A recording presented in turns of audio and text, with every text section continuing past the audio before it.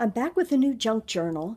This is called the Vampire Hunter's Diary. It surfaced a couple of years ago. Um, I made one back then, and I decided to make another one this year after seeing Lori W.'s um, video on it again. I remembered I had a lot of fun, and I have a friend who um, really likes Halloween, so I made this for her. Hi, Patty, and uh, I hope she enjoys it.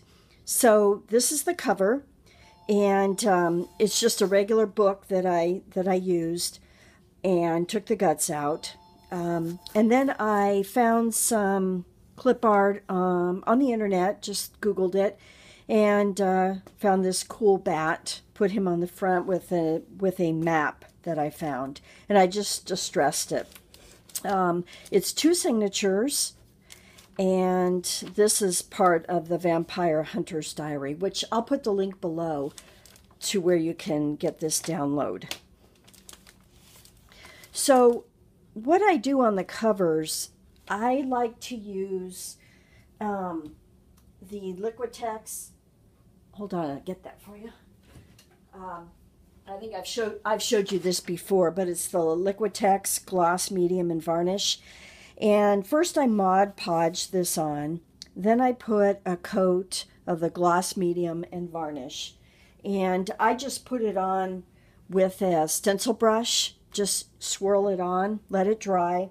Then I sand it very lightly. And then I like to use the finishing wax. Uh, this is what I use. And put that on there and let it dry. And then, and I use um, a big stenciling brush to put that on. So I just like this. And then I first take it off with a paper towel and then I use a cloth. And the easiest way I've found to do this is I have just an old uh, hair product thing that I wrap around this and it makes it really easy to get some buffing going. So you get a really cool finish. It feels um, not sure if it's exactly like leather, but it's just a really smooth, neat finish. So if you get a chance, try that. Um, I used a lot of distress inks. I used uh, frayed burlap, vintage photo, fired brick, um, rusty hinge, and black soot. And I used that throughout the book. And I also used these distress stains, um, Vintage Photo and Crushed Olive. And I just applied them. There was really no formula to how I did it. I just did whatever I thought looked good.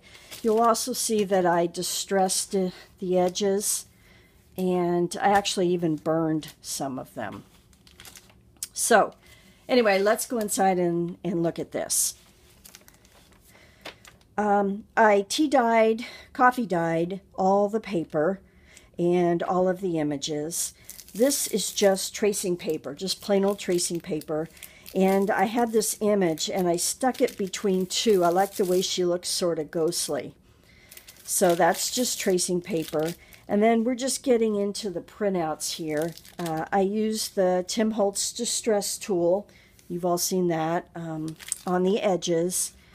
And I'll just quickly go through this because you've probably seen this uh, half a dozen times. People.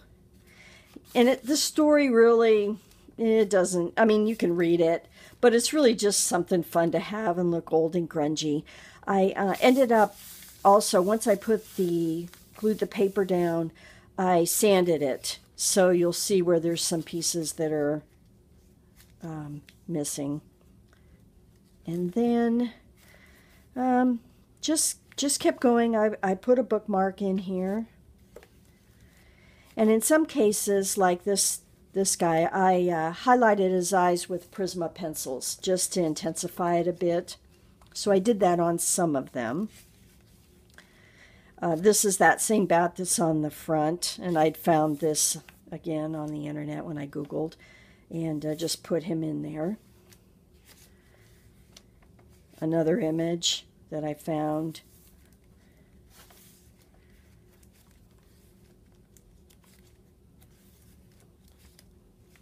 this was a lot of fun. Uh, the the order of it was kind of tough. Lori W did a Word document that she sent to me that I could use. I think I ended up changing the order just a little bit, but for the most part, it's the same. And then I really wanted to get that kind of crunchy sound, so I put some more distress or uh, tracing paper in here. Uh, this is a combination of a couple pieces uh, and some stamping that I did. She was from another one. And when you sand it down, you actually can't feel the image any longer on the paper, which I like. Again, another image. Uh, this one came from the same place I got the one earlier that I showed you.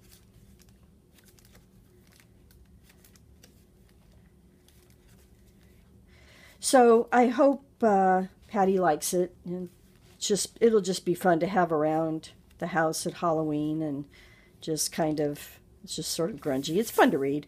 Um, I took a map and folded it. And so that's a pullout. Get more images from the download.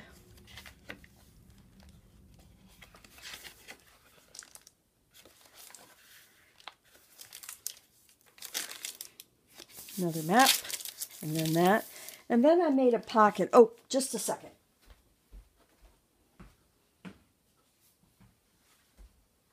There's a map uh, that goes in here, and um, I just burn the edges. Again, I use that same technique that I told you about the Liquitex and then the, the wax. And it gives this a really nice feel. Anyway, this just goes in here like, like that. And then there's the back. So I'll put the links, um, I'll list the products that I used, and then I'll put the links also for this download and also Lori W's and even Paper Addiction, who did it, um, Michelle, who did it a couple years ago. She did one. They're all different. It's just fun to play with. And um, anyway, that's it for now. I'll see you next time. Thanks for watching.